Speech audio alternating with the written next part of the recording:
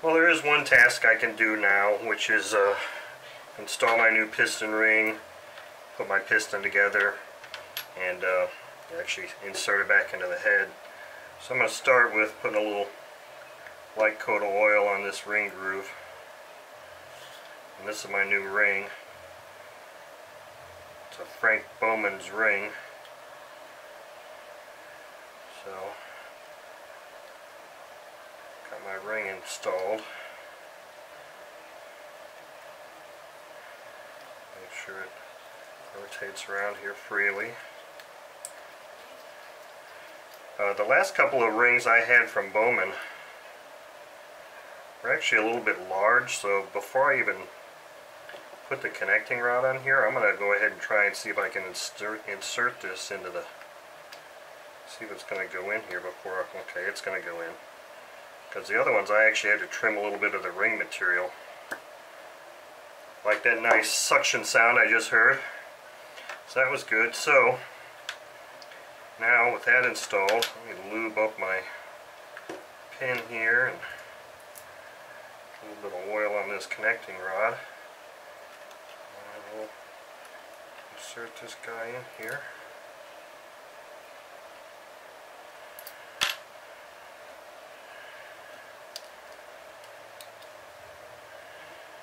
Okay, nice smooth fit. Now if I can find my two little Teflon pads. Actually, I think they're called pin retainers. I call them little Teflon pads because it's basically what they are. Alright, so that's lubed up. A little bit of lubrication in there. I'll reinsert this piston.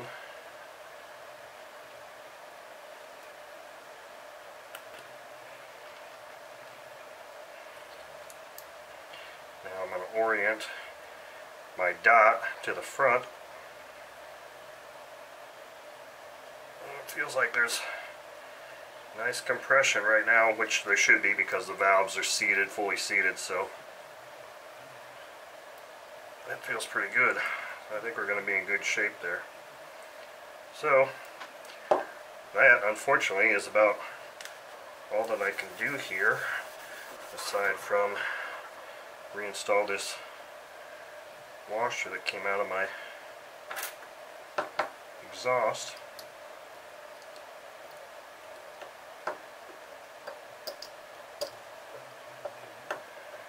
Now that that's back in place, unfortunately since I have no bearings, it really doesn't make much sense to do anything else here for the time.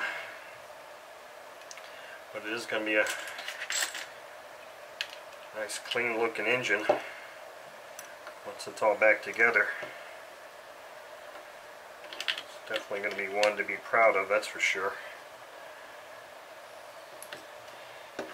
Anyway, that's as far as I can go tonight.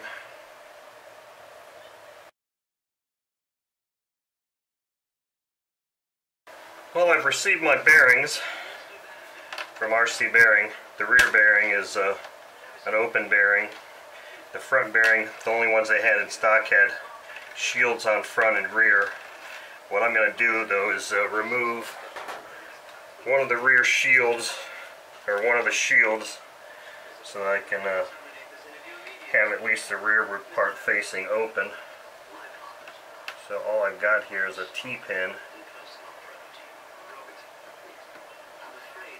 I might actually need something a little bit stronger than this though. Just lift this bearing shield out.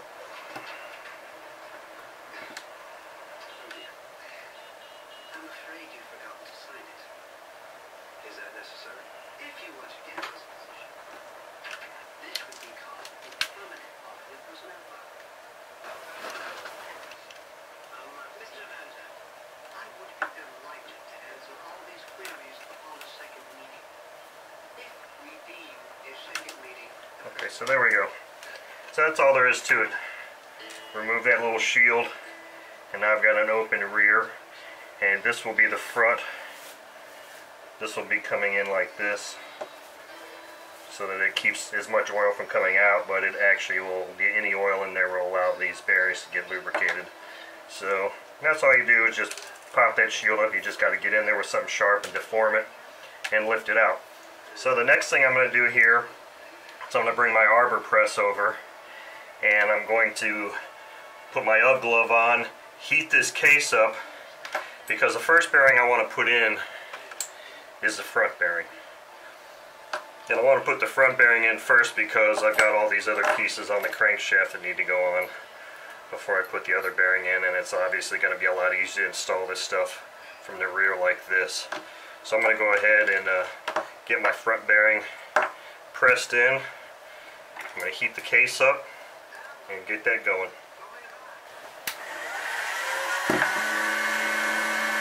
I'm going to start heating this up. I've got a temp gauge so I can shoot the temperature of it too. And heat the front bearing area up. Hopefully the aluminum will expand a little bit and make installing this bearing a bit easier.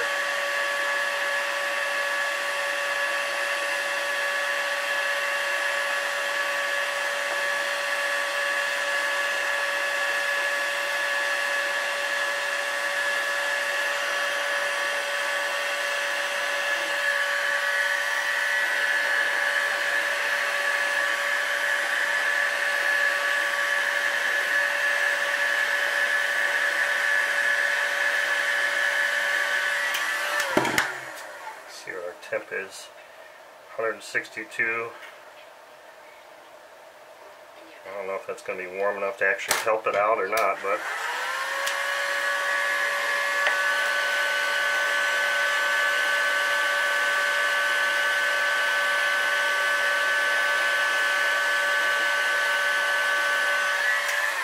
let's see if that's going to be hot enough to help get this in so I want to put this bearing in the shield part facing forward. That thing is quite warm. So I really want to try to make sure that gets on there straight.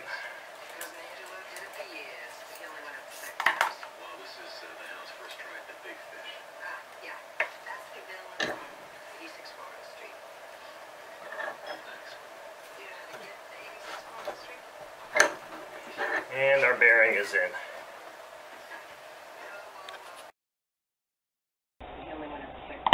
Well, this is uh, the house first tried the big fish.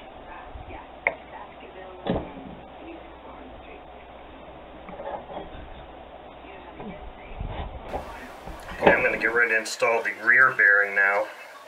So I just kind of put a little bit of oil on this crankshaft. I'm going to take that collar off. That collar actually provides a spacing between uh, allowing this to stop. It actually provides a spacing, proper spacing for this timing gear to line up here between that and the bearing. So that's what that little collar is for. This is finally cooled down enough. So I'm going to pull these guys off here. Uh, oil up my bearing here real good. See how easily it slides onto the crankshaft.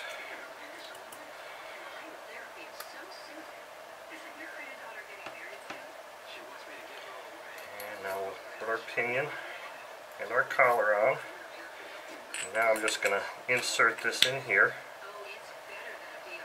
And what I'm going to do now is I have a small socket.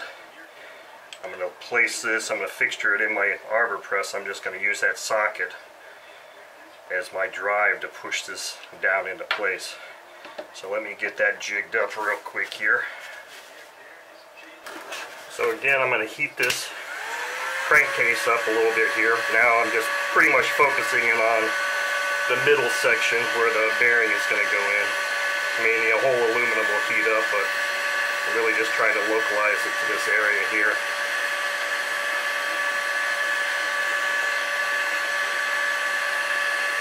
Front bearing didn't seem to need it to be too hot to go into place, so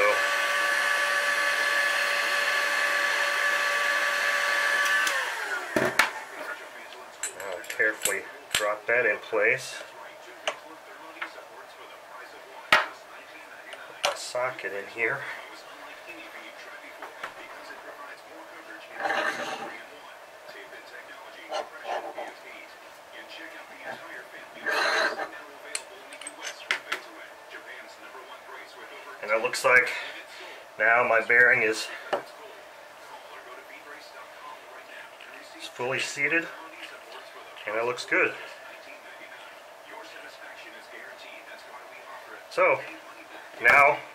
reassembly of the engine can continue.